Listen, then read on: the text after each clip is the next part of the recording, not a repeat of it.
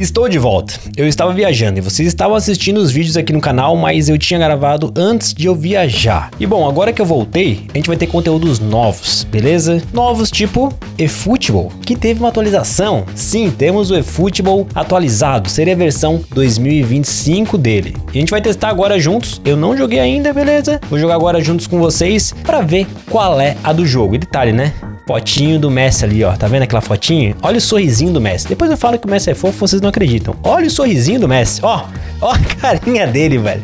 Tá maluco? Que fotinho da hora, hein? Vamos ver aí como tá o eFootball. Esse vídeo aqui vai ser gravado no PlayStation 5, mas eu pretendo também fazer um vídeo aí é, do eFootball Mobile pra gente ver como tá. E também vou explorar mais o eFootball nessa temporada 2025, tá? E rapaziada, estamos entrando na temporada 2025 não só do eFootball. O EA FC também vai lançar sua versão daqui daqui a uma semana, talvez antes, e a gente vai junto com tudo. Vou trazer conteúdos novos aí do eFootball. Tô pensando em trazer um modo carreira diferente, tá? Vai ser uma pegada mais diferente do que a gente tem feito nos últimos anos. E teremos também o FL que vai lançar em breve, então já vai deixando o like e também se inscreva no canal aí, claro, para não perder nada. Teremos live também, vou avisar vocês durante a semana. Cheguei a poucos dias de viagem, tá tudo uma loucura, tá tudo uma zona ainda, tô organizando minha vida, mas devagarinho a gente vai e vamos lá ver qual é do eFootball 2025. Beleza, menu aqui não mudou nada, acho que talvez mudou as cores, né? Se eu não estiver errado, né? Como eu não jogo muito futebol, então eu não tenho assim tudo na minha memória como era. Assim, olhando o menu, idêntico. Acho que mudaram as cores aí. Eu quero dar uma olhadinha aqui no meu plano de jogo. O meu time está exatamente igual, não perdi os contratos dos jogadores. Eu pensei que ia ter igual teve na versão passada, que zerou, né? E no fim eu não consegui usar os meus jogadores que eu tinha na versão 2023 para 2024, assim por diante. Mas tá exatamente aqui, é o mesmo time que eu deixei na última versão antes da atualização. Então, Hendrick, desculpa mas agora você perde a vaga pro Romário. Bom, olhando aqui os contratos, a gente tem aqui jogadores especiais, beleza? Temos aqui um bem-vindo ao eFootball do Messi, que é grátis. Temos aqui é, épico do Bayern de Munique, do Barcelona de 2005 e 2006. Detalhe, tem o Ronaldinho Gaúcho. Cara, isso aqui é um ótimo vídeo pra gente caçar esse Ronaldinho Gaúcho pra gente, hein? A gente já tem Ronaldinho Gaúcho, mas Ronaldinho Gaúcho sempre é bem-vindo, né? Então, dá para dar uma olhadinha aqui, ó. Tem vários jogadores do Barça dessa temporada, mas os especiais são o Barça daquela temporada de 2005, 2006 com o Deco, que jogava muita bola, mas o destaque era o Ronaldinho. Juli também era bom jogador. Temos também aqui outros pacotes, inclusive o Palmeiras que teve essa essa parceria com o eFootball e anunciado nas últimas semanas. E o detalhe é pro Estevão, que tá ali na frente, né, com uma cartinha bem legal com 94 de classificação geral. Temos também aqui uns pacotinhos do mundo afora, que tem Davids tem o Baresi, tem o Van temos aqui jogadores mágicos, dribladores. Cara, tem bastante pacote aqui de cara e tem aqui um pacote exclusivo da Brazilian League, que seria, né, o Campeonato Brasileiro. Inclusive tá ali o jogador do Palmeiras, o atacante, com o seu 92 de overall, o Wellington Rato, fala dele, com 90 e o Hugo. Cara, eu tenho 8.400 moedas, vocês estão vendo lá em cima, mas vou deixar pra gente fazer um vídeo exclusivo do Ronaldinho Gaúcho, pra tentar caçar o homem. Aqui, esse pacote bem-vindo, a gente ganha, deixa eu ver, a gente tem a possibilidade de ganhar um Messi, né, mas a gente pode pegar também, sei lá, o pior deles aqui. Esse Messi 85, a cartinha toda dinâmica, da hora demais. Cara, vamos ver aqui. Ah, contrate os 10, então o Messi vai vir de qualquer jeito, não tem jeito, teremos o Messi novo. Inclusive, a gente já vai dar uma olhada pra ver se mudou alguma coisa nessa apresentação aqui, ó. De pack opening, né? Tá legal. Tá legal. Mas tá idêntico, né? Inclusive, acho que temos uma melhoria gráfica, né?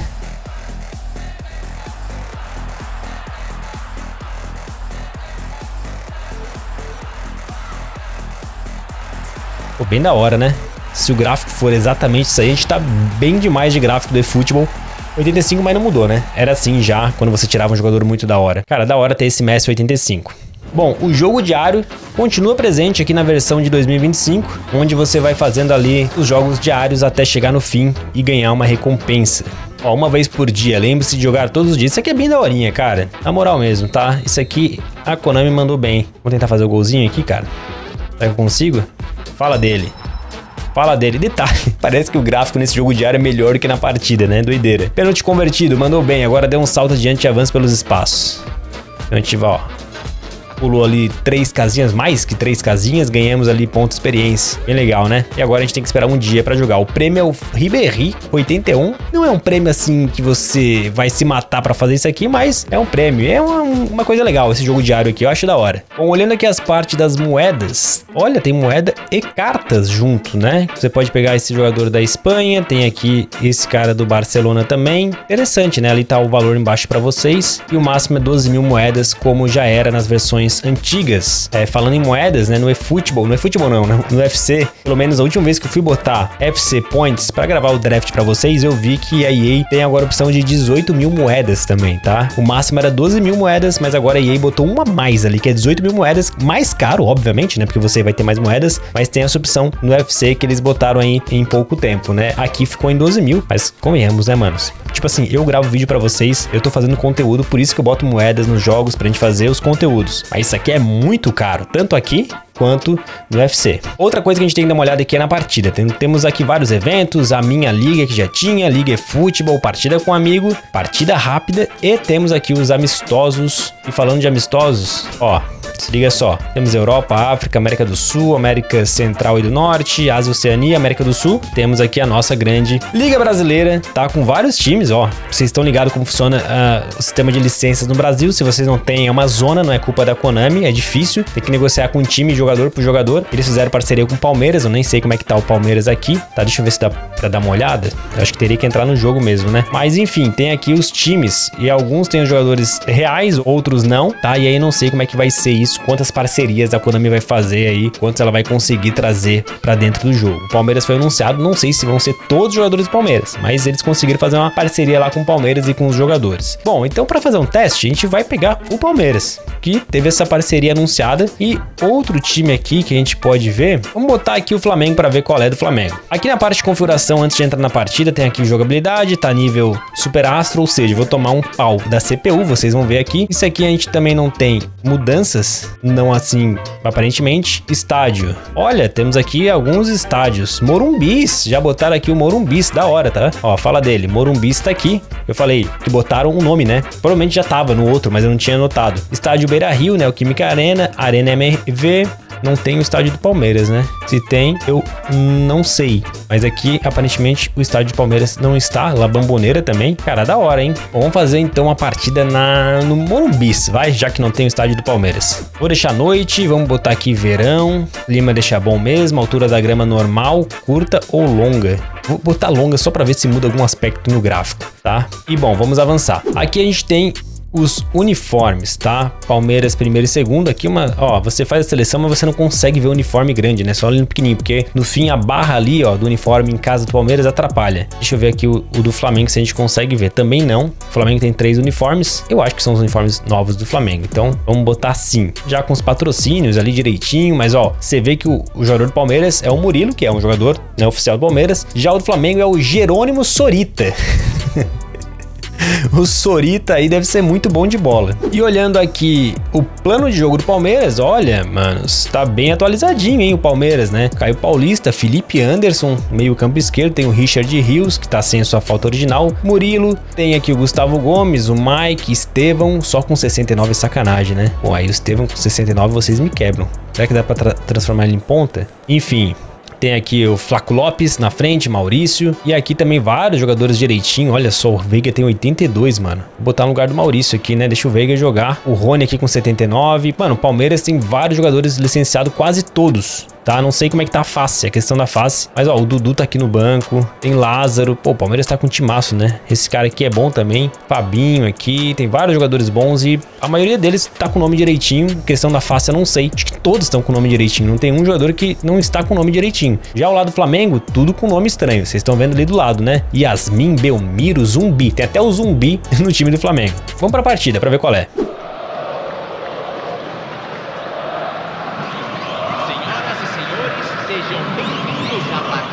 Olha, visualmente parece estar um pouco mais bonito.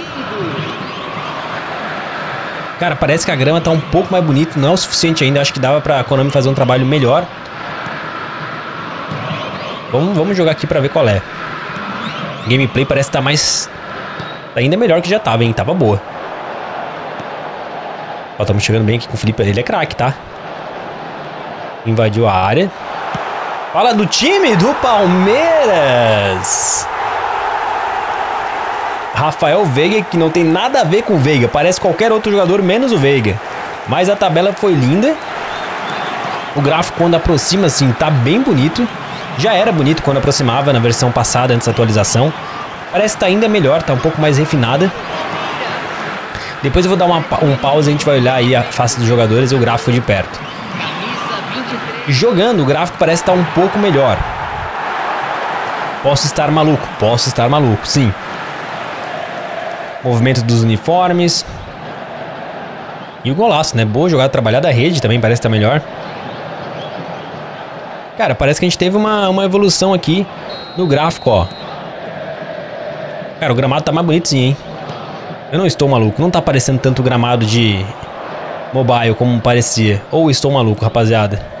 Me corrijam se eu estiver errado. Ó, ó, ó. Mike, fala dele. Já vambora. Agora, a, a gameplay, eu já tinha elogiado bastante na última vez que eu testei. Ela tá delicinha, gente. Tá delicinha. Por isso que eu falei que quero trazer mais conteúdos de futebol nessa temporada. Porque eu tô achando que o jogo vem evoluído bem na gameplay, mas bem mesmo, né? Tem muito que a Konami consertar ainda no jogo? Tem, mas na gameplay ela tá, tem acertado legal. Boa. Ó, o jogo responde bem aos comandos rápido. De novo vem com o Felipe Anderson. Flaco Lopes tocou bem. Ah, passe ruim do Flaco. Ó, a zaga abriu, ó. Nossa, me tortou legal ali. Boa, Richard Rios fazendo cobertura aqui pelo lateral. Mexer aqui o jogador pra ver. Cara, se tem uma parada que a Konami conseguiu arrumar muito com o eFootball, né? É que eu achava que os jogadores eram totalmente robóticos no PES, tá? Durões, tá? Não robóticos, meio durões assim, né? Você não tinha molejo do jogador. Se é que vocês me entendem, né? E ela conseguiu trazer bem isso no eFootball, né? Parece que os jogadores têm um molho, se é que vocês me entendem. Tem um molejo de jogador de futebol. Só que não ficou naquela coisa igual a da EA, que é os jogadores mole demais aí, parece, entendeu? É estranho. Vocês mesmos falam que eles deslizam em campo da EA, né? Sei lá, o movimento dos jogadores da EA é meio estranho às vezes. Tanto é que às vezes você pega um jogador da, no jogo da EA, no UFC, e você fica girando ele de um lado pro outro, eles fazem uns movimentos totalmente bizarros. E a Konami era ao contrário, achava que os jogadores eram muito duros. Só que ela conseguiu trazer, melhorar isso, né? Nessas últimas versões, últimas atualizações do futebol. E vem melhorando cada vez mais, ó. O jogo tá fluidinho, bonitinho. A velocidade do jogo tá excelente. O movimento dos jogadores tá muito bom. Vou meter uns dribles aqui pra ver. Cara, tá bem, bem da hora. Eu acho que é, talvez o que tenha melhorado no gráfico tenha sido a questão da iluminação, tá? Claro, acho que teve alguns polimentos gráficos, mas parece que a iluminação tá melhor. E tá, deixou o jogo mais bonito. Quesito iluminação. Os jogadores saindo do campo, mas por enquanto, tô curtindo. Tô curtindo. Bora pro segundo tempo então. Eu nem acredito que tô ganhando no Super hein, mano. Ai, ai, boa bola.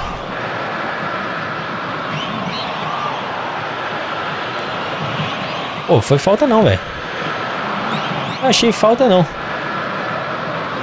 Ó, foi pra um lado. Pô, Ê, tentei meter, meter o drible. Mike ainda... Ah, Mike, era tua, pô. Isso. Cara, o Veiga... Ai, eu fui elogiar o Veiga, ele perdeu a bola. Foi nada, seu juiz. Bom, isso no PES 21 é gol, né? É um pênalti. Vamos ver se eles vão aproveitar aqui. Pô, aproveitaram nada. Ó, o Estevão dominou bem, hein? Girou bonito. Categoria do moleque que é craque. Nossa senhora. O movimento dos jogadores tá legal. Tá muito legal, ó. Fake shot. Vamos tocar a bola, achar um espaço aqui.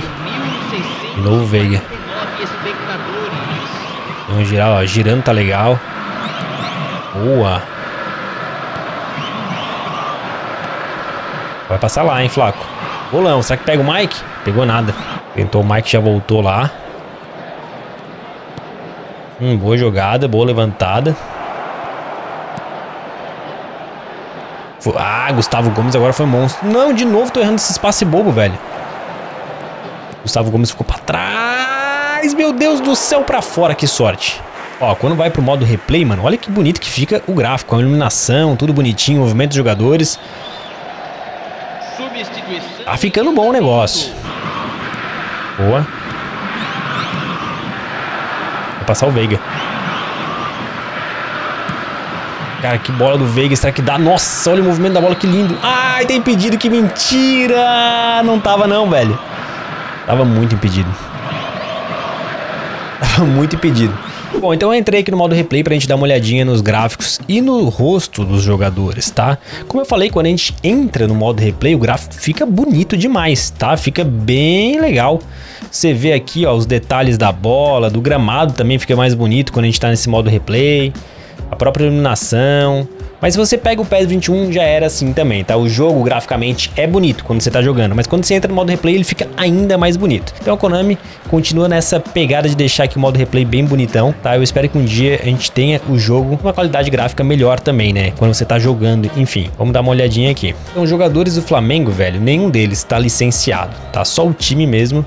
Mas gente, esse cara parece até o Everton Ribeiro, mas a gente sabe que o Everton Ribeiro nem tá mais no Flamengo. Talvez seja o Everton Ribeiro aqui, porque talvez não tenha atualizado ainda. É o que parece. Ou estou maluco? Eu vou passar rapidinho para os jogadores do Flamengo aqui, só para você estar olhando aí comigo. Esse aqui é o famoso Yasmin. Lembra o Lucas Paquetá. o Lucas Paquetá não tá no Flamengo há anos. Não faço ideia. Não sei.